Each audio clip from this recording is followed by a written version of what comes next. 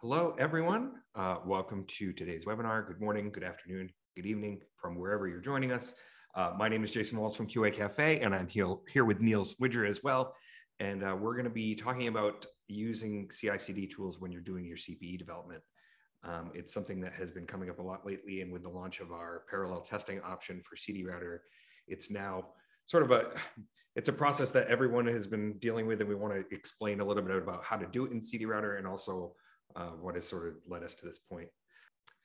Um, all right, let's get started. So, like I said, I'm here with Niels Widger. Uh, he's a senior developer uh, here at QA Cafe, and he is kind of the brains behind the CD Router API. And most of what you see when you interact with uh, with CD Router, our test tool, uh, was designed by Niels. So he's the best person to talk about how to do this, hands down. Um, so, welcome, Niels. Um, so, I'm going to go through a couple of things before um, what uh, Niels is going to cover, and that includes sort of why we're talking about this today. You know, why why CI/CD when developing CPE.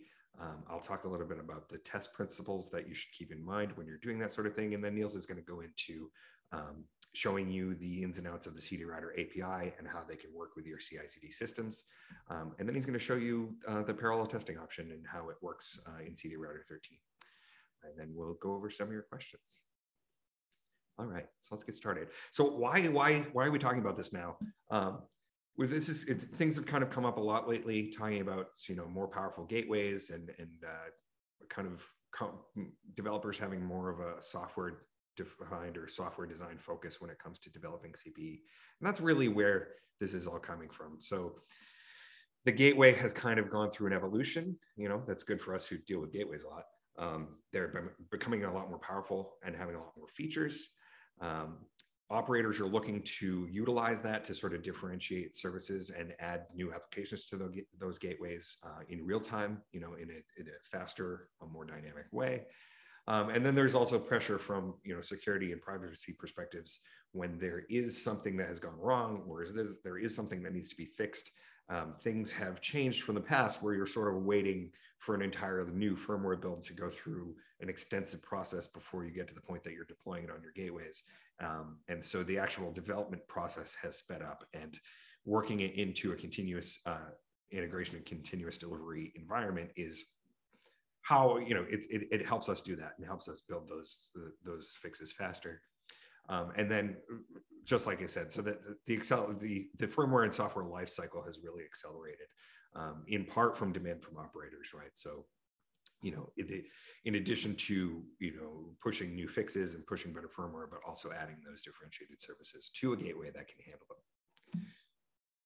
Um, the other thing that has sort of changed as a result of this is that the the development roles have shifted. You know, we we talk about this uh, the supply chain in the development of a CPE, and there were very defined roles um, many years ago where it's you know the, the QA team is doing um, QA testing, the system integrator is doing one thing, um, and those things, uh, but, but the developer is is doing their stuff before they're handing it off to other people, and that has really sort of split out, and especially because these things might be being handled by different people at different points of the supply chain, right? Um, so you have the hardware vendor building the things that they're doing, handing it off to uh, a middleware vendor. There's a lot more middleware vendors now than there were in the past.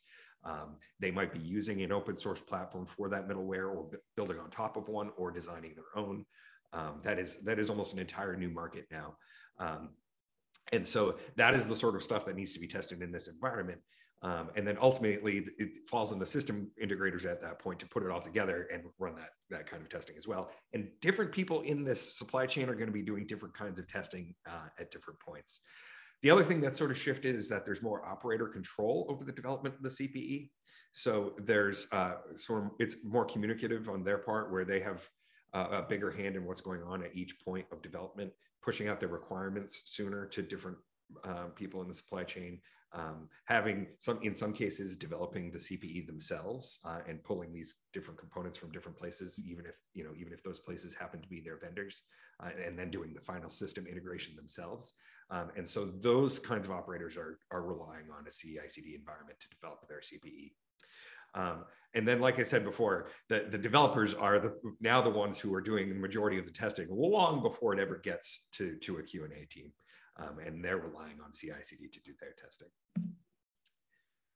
Part of the importance of this is developing an overall test strategy to make sure that you're able to um, to, to incorporate it into your CI/CD environment uh, effectively and you know across all the different organizations and people that you're dealing with.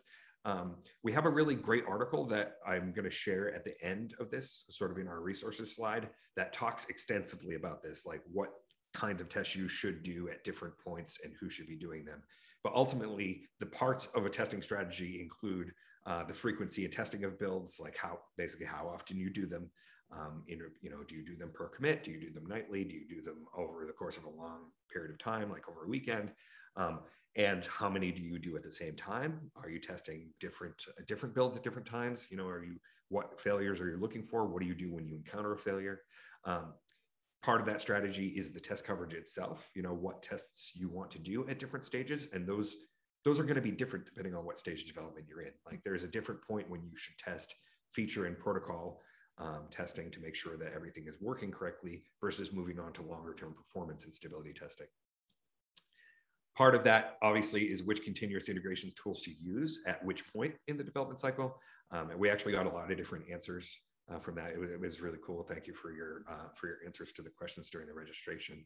Uh, we got a good idea of what uh, people are using out there and people use all kinds of different things at different stages of testing. Um, and then also how to coordinate with your partners in your supply chain. So how to communicate uh, the testing, replicate the testing, um, and making sure that you know failures are getting addressed in, in that process. And that's one of the things that CD Router can help with, just because we make it easy to sort of share and export uh, your results into somebody that so that somebody else who has CD Router can replicate the testing that you do. Okay, so how do you do this in CD Router? I'm going to hand this off to Niels. Um, and this is ultimately about how to use the CD Router web API with your CI/CD environment and the specific API calls and scripts that you can use to do that. So that's what Niels is going to show you. But the one thing I do want to point out is that uh, you know when we were looking at the registrations for this webinar, uh, the vast majority of you are CD Router users, and that's good. So the stuff that Niels is going to be covering is you know is is things for people who are a little bit at least familiar with with how CD Router works. Um, so just keep that in, in mind as we go. All right, Niels, go ahead. Great, thank you, Jason. Okay, um, thank you all for coming. So uh, CD Router includes a JSON REST API, which we call the CD Router Web API, which allows programmatic access to everything available on your CD Router system. This includes everything that's also available through the CD Router Web UI, so this includes things like creating and editing packages and configs, launching packages, monitoring running jobs, and then inspecting and exporting results. QA Cafe maintains an open source Python API client library on GitHub, which is called cdrouter.py. And that provides full access to all of the API endpoints and the data they return in a convenient form. Uh, while you can interact with the API using any HTTP client, so for example, you could use curl, cdrouter.py is the recommended way to interact with your cdrouter system in automation scripts. Uh, and all the examples I'll be showing you today will be using it. Uh, we provide extensive documentation, which I'll show you some screenshots of in a minute, uh, for all the classes and methods and fields uh, in the Python library. Uh, and finally, uh, cdrouter.py, the repository on GitHub includes a directory of example scripts to help get you started. And we'll be providing links to all that documentation and examples at the end of the webinar. So to get started with cdrouter.py, first you'll need to install it. Uh, installation of cdrouter.py is done through pip the Python package manager. Uh, we regularly publish new versions of cdrouter.py to PyPI, the Python package index. And you can always use the pip command to install or upgrade your copy of cdrouter.py. If your Python installation does not already have pip installed, you'll need to install it um, by following the instructions uh, in the link at the bottom of this slide. But once you have pip installed, um, you can install cdrouter.py itself uh, by simply running pip install cdrouter. So to give you a flavor of what cdrouter.py scripts look like, uh, on this slide, you can see uh, sort of the hello world equivalent of a cdrouter.py script. Uh, in this script, we initialize a CD router instance with the URL to our CD router system and an API token. And then we launch the package with name my package. Uh, and even without knowing anything about the API, cdrouter.py, or perhaps without even knowing that much about Python, hopefully it's somewhat obvious what's going on in this script. The easiest way to actually run a cdrouter.py script is to pass it to the Python command. So for example, if the script on the previous slide was in a file called hello.py, uh, you can see here how we would run it.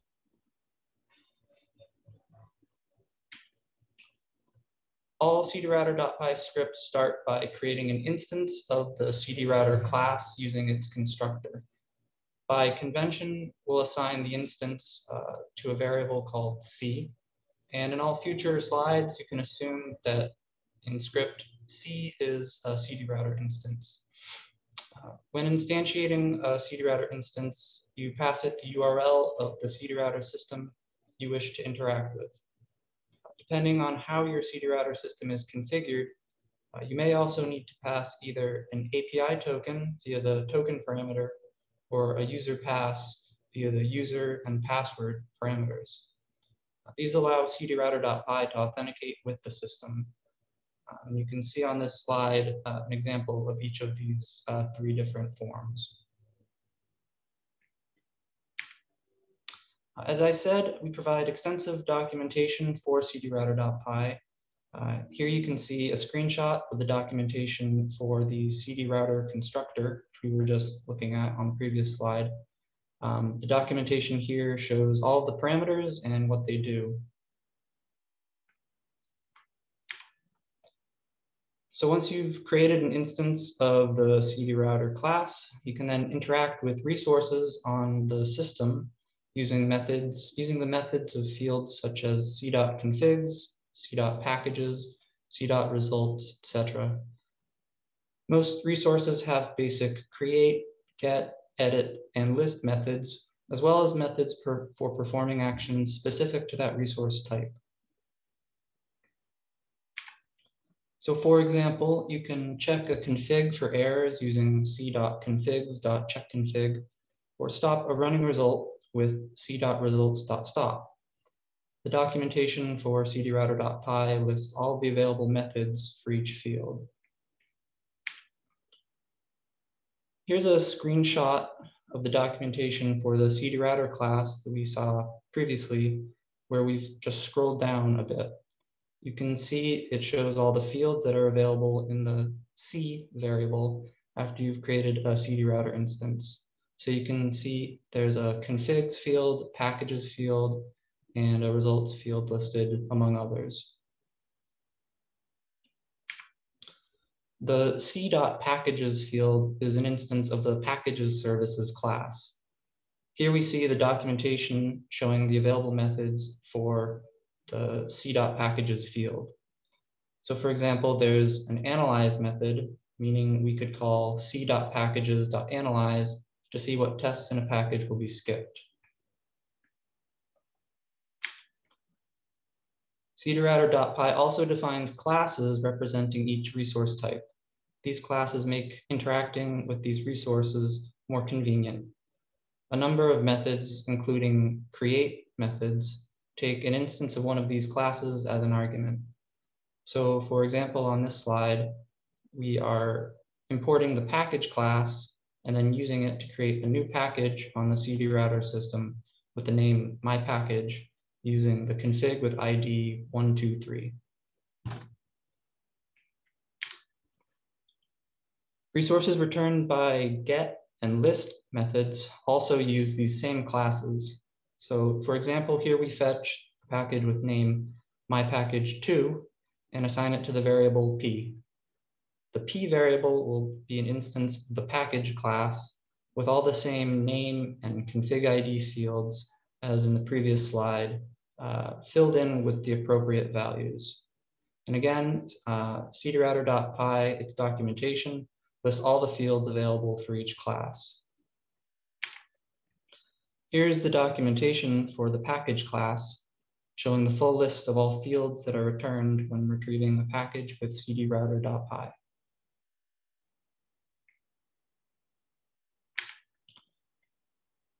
So now that we know the basics of how to install and use cdrouter.py, how do we use it to integrate cdrouter into our CI CD pipeline? Well, first, you'll probably, using the cdrouter web UI in a browser, want to manually create the configs and packages that you're going to use to test your CPE in the pipeline. Once these are created and working, you can then create a new CI job in your pipeline which runs at some point after the firmware image has been built and installed on a CPE connected to your CD router system.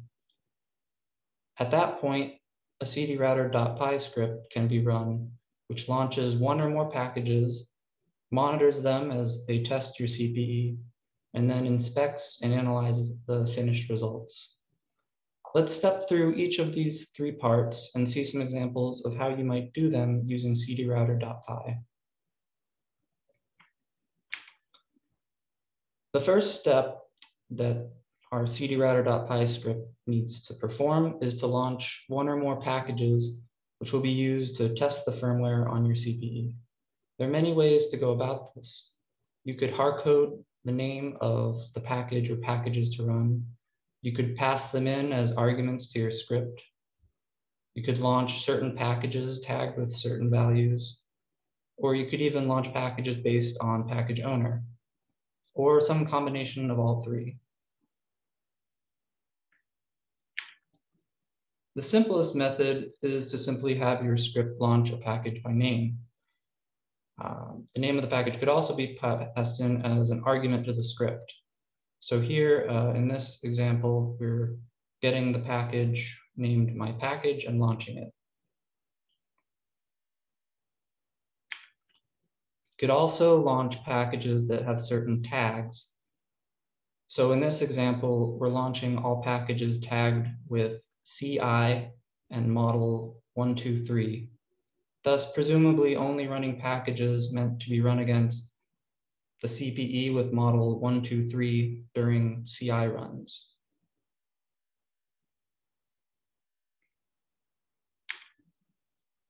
And finally, you could launch packages based on the package owner.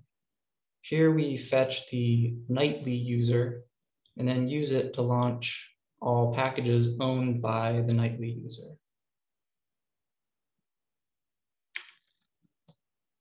In addition to launching packages, you may also want to tag the result that gets created to make it easier to identify what CPE model or what firmware version it was run, run against. Assigning a tag to the result when launching the package is a great way to keep your results organized. Additionally, it's sometimes convenient to override the value of a test var when launching a package, and we'll show you how you can do that within an API script as well. So here in this example, we're launching a package with ID 123, telling CD router to tag the result that gets created with the tags model 123 and V123. Presumably these represent the CP model number and the firmware image present on the CPE uh, at the time of testing. And both of these might be passed into the cdrouter.py script as our arguments.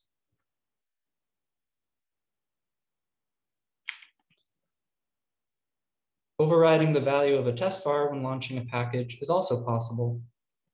Here again, we launch the package uh, with ID 123, telling CD router to override the value of the test var LAN IP with the value 192.168.1.3 using the extra CLI args option.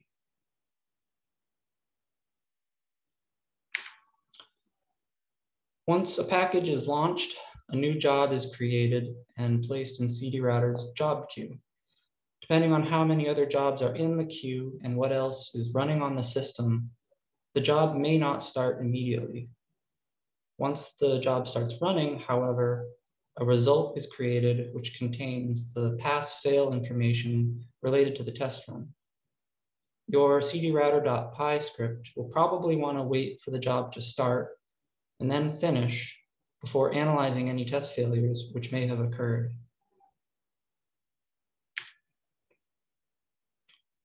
A simple while loop is all we need to wait for a job to start. Here we launch a job and then pull the job once a second until it gets assigned a result ID, thus signaling that it has begun execution. When the script breaks out of the while loop, we know that the result has started and that its ID is in j.resultID.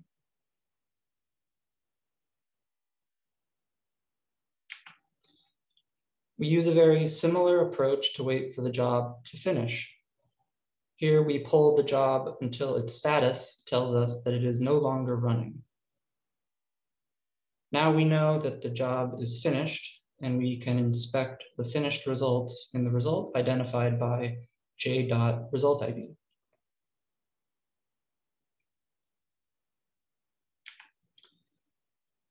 Once the job has finished running, our CI script can now analyze the results. What exactly this means varies, but at a minimum, we probably want to see if any tests have failed, and we may want to export the result so we can store it elsewhere.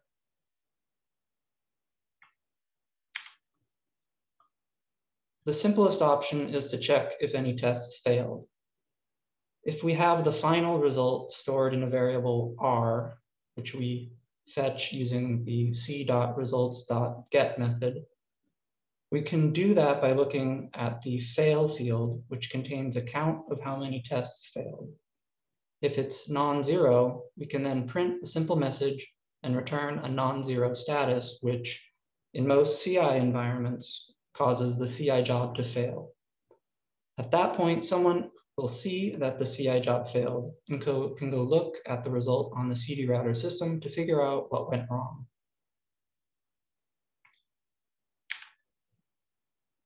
If we want to be a bit more advanced, our CI script could also pull out the name of each failed test. In this script, we do that by iterating over all the tests that failed in the result by looking at those whose result field equals fail.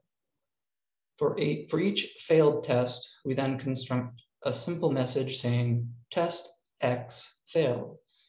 This could give the person looking at the failed CI jobs output a bit more context about what went wrong before they go and look at the result in more depth on the CD router system itself.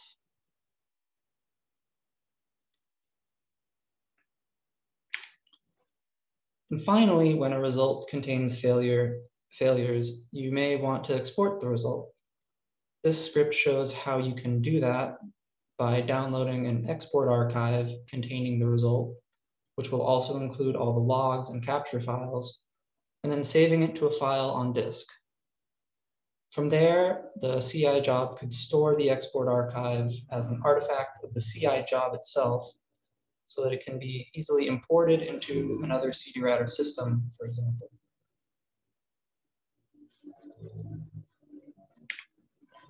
There are many other future ideas that you could explore to make your CI job even more advanced and useful. For example, you could use cdrouter.py to automatically rerun failed tests.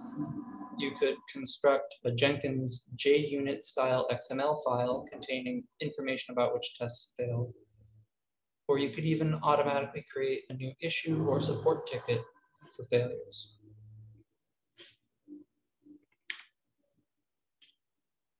So now I'm going to uh, give you a quick demo of parallel testing, the new feature introduced in CDRouter 13, which allows you to run multiple jobs simultaneously on the same CD router system. So yeah, first thing you want to do is see how many test instances are available on the CD router system. Uh, this tells you how many packages can run in parallel uh, on that system. So on the system page here, this tells us that we have five test instances. That means we can run five packages at the same time. To actually use parallel testing and to use those test instances, what we want to do is we want to launch, uh, let's say, let's launch three packages. So I'll select uh, three packages here.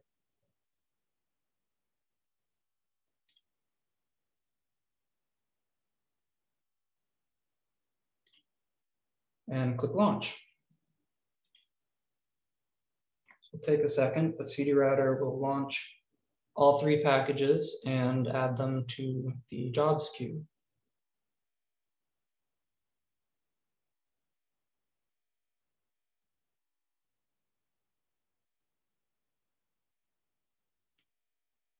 So now we're on the jobs queue page. And as you can see, um, because we have five test instances, we're allowed to run five packages at the same time. And since we launched, we only launched three, all three are now in the running state. From there, you can watch all three run just like you would be able to run, uh, watch any other uh, running package.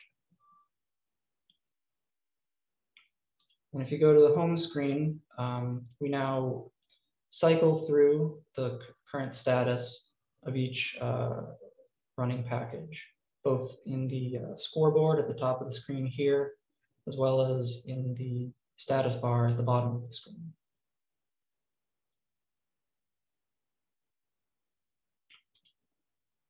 Um, and that's the that's parallel testing. That's the demo. So I'll pass things uh, over to Jason. All right. Thanks, Niels. Um, that was good and uh, pretty in depth. And we do have some questions. I do want to cover this slide really quickly before we do that. So if you have, do have any questions about um, adding parallel testing to your system, or if you're exploring a new system and want to know how that works, um, obviously feel free to reach out to Steve and the team at sales at qacafe.com.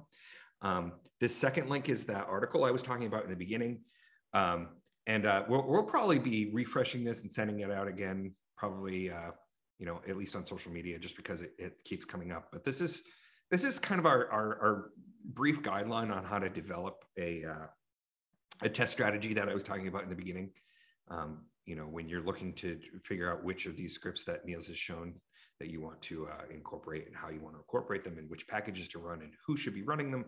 Um, that that article is really good for that.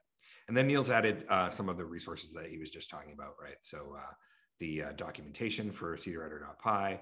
Um, we have some example scripts on GitHub that you can look at, um, and then uh, the documentation.